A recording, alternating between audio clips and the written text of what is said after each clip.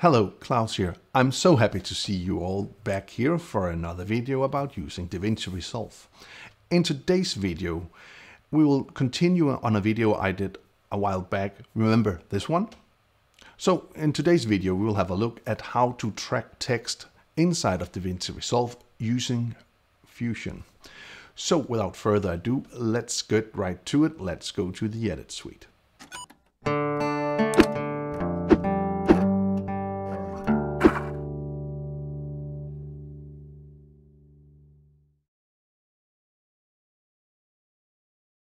Okay, and here we are back in DaVinci Resolve. So first thing, I wanted to spice up my tutorials with a bit of music coming right here. So this is music from a music library called Soundstripe, which is um, you pay one fee a year and you can use all the music you want to in your videos. And it's not only for YouTube videos, it's also for commercial jobs. So if you're interested in that, please check the link down in the description and let's continue with the tutorial. Okay, so um, first off, we are going to make our clip here to a new Fusion clip. Let's go over to Fusion. Okay, and here we are in Fusion, and the first thing we are going to do is we're going to get the planar tracker, which I already found. I'll add that into my composition, and I'll go here and I'll change from point to hybrid point area.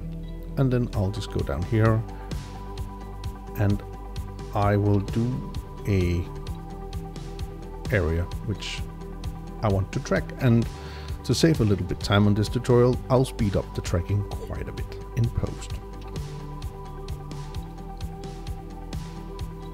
So when we've done all the tracking we'll take all our keyframes and create a planar transform.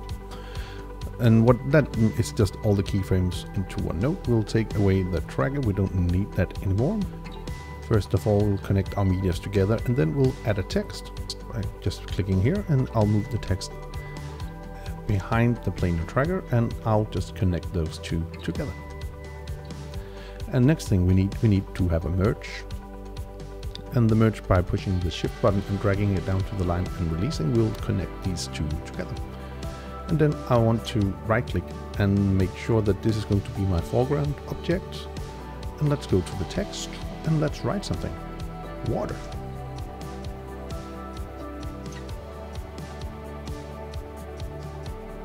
Okay, so that's fine and dandy. And of course we can change the size here and, and all these normal things. And we can also move up our text.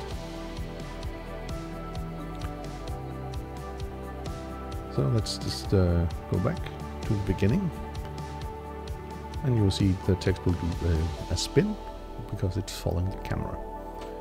So let's uh, see. Yeah, yeah, it's doing the job pretty well, but it could have been better. But okay, I'll try to move it up here.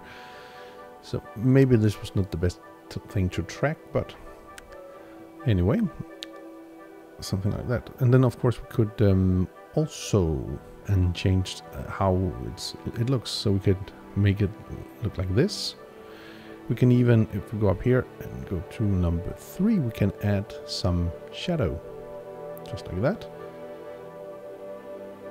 And of course, if we want to add some motion blur, we can do that as well, just by clicking the checkbox.